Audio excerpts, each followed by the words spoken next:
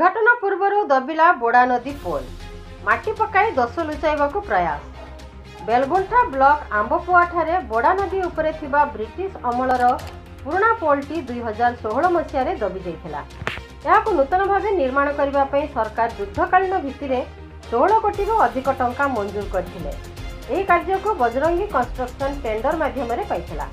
ଏହାର ସମୟ ଅବଧି ତିନି ବର୍ଷ ଥିବାବେଳେ କାମକୁ ଧିମେଇ ଧିମେଇ ନିର୍ମାଣ କରିବା ଏବଂ ଠିକାଦାର ବିଭାଗୀୟ ଯନ୍ତ୍ରୀଙ୍କ ମଧ୍ୟରେ ସଲାସୁତୁରା ହୋଇ କାମକୁ ନିମ୍ନମାନର କରାଯାଉଥିବା ନେଇ ପୂର୍ବରୁ ଅଭିଯୋଗ ହୋଇ ଆସୁଥିଲା। ଏହା ସହିତ ପ୍ରତିବର୍ଷ ଦୁଇଥର ଲେଖାଏଁ ଡାଇଭର୍ସନ ପୋଲ ନିର୍ମାଣ ନାମରେ ଲକ୍ଷାଧିକ ଟଙ୍କା ହେରଫେର ହେଉଥିବା ନେଇ ଅଭିଯୋଗ ହୋଇ ଆସୁଥିଲା। ଦୁଇ ହଜାର ଷୋହଳରୁ ଦୁଇ ହଜାର ଉଣେଇଶ ମଧ୍ୟରେ ସରିବା ପାଇଁ ସମୟସୀମା ଥିବାବେଳେ ବର୍ତ୍ତମାନ ଦୁଇ ହଜାର ବାଇଶ ପର୍ଯ୍ୟନ୍ତ ଏହି କାର୍ଯ୍ୟ ସରିନି। ଗତ ଚାରି ଦିନର ଲଗାଣ ବର୍ଷାରେ ନୂତନ ଭାବେ ନିର୍ମାଣ ହେଉଥିବା ପୋଲ ଆମ୍ବକୁଆ ପଟକୁ ପ୍ରାୟ ଦୁଇ ଫୁଟ ଦବି ଯାଇଛି।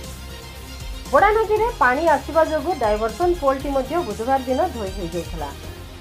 ଏହି ନୂତନ ପୋଲ ରାସ୍ତା ଦେଇ ଗାଡ଼ି ମଟର ଯିବା ଆସିବା କରୁଥିଲା। ହଠାତ୍ ରାତି ଦଶଟାରୁ ଏଗାରଟା ମଧ୍ୟରେ ପୋଲଟି ଦୁଇ ଫୁଟରୁ ଅଧିକ ଦବିଯିବାରୁ ଗାଡ଼ି ଯିବା ଆସିବା ଠପ୍ ହୋଇଯାଇଥିଲା। ସଙ୍ଗେ ସଙ୍ଗେ ଖବର ପାଇ କନଷ୍ଟ୍ରକ୍ସନ ସଂସ୍ଥା ଏକ ଡଷ୍ଟ ଗାଡ଼ି ଆଣି ଏହାକୁ ଲୁଚାଇବା ପାଇଁ ଚେଷ୍ଟା କରିଥିଲେ। ଆଜି ସକାଳେ ଏହା ଜଣାପଡ଼ିବା ପରେ ଲୋକଙ୍କ ମଧ୍ୟରେ ଅସନ୍ତୋଷ ଦେଖାଦେଇଛି କାମ ନିମ୍ନମାନର ହୋଇଥିବା ବେଳେ ଏହାକୁ କେହି ଦୃଷ୍ଟି ଦେଉନଥିଲେ ବୋଲି ସ୍ଥାନୀୟ ଲୋକେ ଅଭିଯୋଗ ଆଣିଛନ୍ତି। ତିନି ବର୍ଷ ସ୍ଥାନରେ ପାଞ୍ଚ ବର୍ଷ ପୁରି ଯାଇଥିଲେ ମଧ୍ୟ କନଷ୍ଟ୍ରକ୍ସନ ସଂସ୍ଥା କାର୍ଯ୍ୟ ସାରି ସରକାରଙ୍କୁ ହସ୍ତାନ୍ତର କରିପାରିନାହିଁ। କାମ ନିମ୍ନମାନର ହୋଇଥିବାରୁ ବର୍ତ୍ତମାନ ପୋଲଟି ଆମ୍ବପୁଆ ପଟକୁ ଦବି ଯାଇଥିବା ବେଳେ ବେଲଗୁଣ୍ଠା ପଟକୁ ମଧ୍ୟ ସେହି ଅବସ୍ଥା ହେବାକୁ ଯାଉଛି। ଏହାର ପାର୍ଶ୍ୱରେ ଦିଆଯାଇଥିବା ପଥର ପ୍ୟାକିଂରୁ ମଧ୍ୟ ପଥର ଖସି ପଡ଼ିଛି। ପୋଲଟିଏ ହେଲେ ଏହାର ଉଭୟ ପାର୍ଶ୍ୱରେ ମାଟିକୁ ଜାବୁଡ଼ି ରଖିବା ପାଇଁ ଗଛ ଲଗାଇବା ନିୟମ ରହିଛି।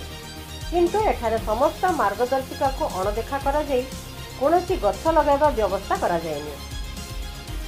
ଆଜି ଏନେଇ ଆସ୍କା ରାସ୍ତାଘାଟ କୋଠାବାଡ଼ି ବିଭାଗୀୟ କନିଷ୍ଠ ଯନ୍ତ୍ରୀ ହରିହର ଦାସଙ୍କୁ ଯୋଗାଯୋଗ କରିବାରୁ ସେ ଏହି ବିଷୟରେ ଅବଗତ ଥିବା ପ୍ରକାଶ କରିଥିଲେ।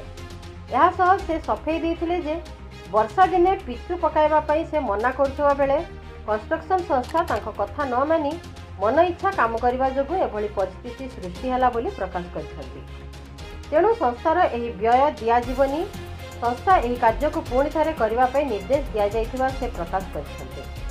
ଏଥିରେ ଜାଲିଆତି ହୋଇଥିବା ଏବଂ ଦୁର୍ନୀତି ହୋଇଥିବା ଯୋଗୁଁ ତୁରନ୍ତ ଏହାର ତଦ- ତଦନ୍ତ କରାଯାଇ କାର୍ଯ୍ୟାନୁଷ୍ଠାନ ପାଇଁ ଅଞ୍ଚଳବାସୀ ଦାବି କରିଛନ୍ତି।